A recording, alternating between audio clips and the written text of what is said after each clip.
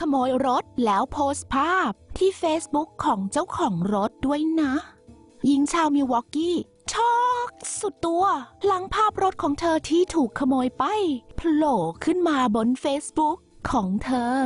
โดยรถคันดังกล่าวถูกขโมยไปจากอีสไซด์ของมิวอกกี้เมื่อคืนวันเสาร์ เจ้าของรถรายนี้ถูกระบุเพียงว่าชื่อมิเชล เธอได้โพสต์ภาพของยานพาหนะไปบน Facebook เพื่อขอให้เหล่าบรรดาผู้ใช้ Facebook ช่วยตามหาด้วย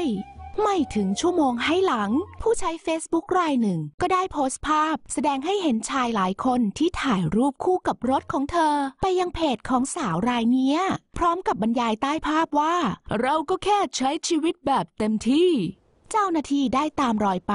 จนพบรถคันนี้ และส่งมันกลับไปให้คุณเจ้าของแล้ว โดยรถไม่ได้รับความเสียหายมากนัก ยกเว้นแต่ภายในค่อนข้างจะ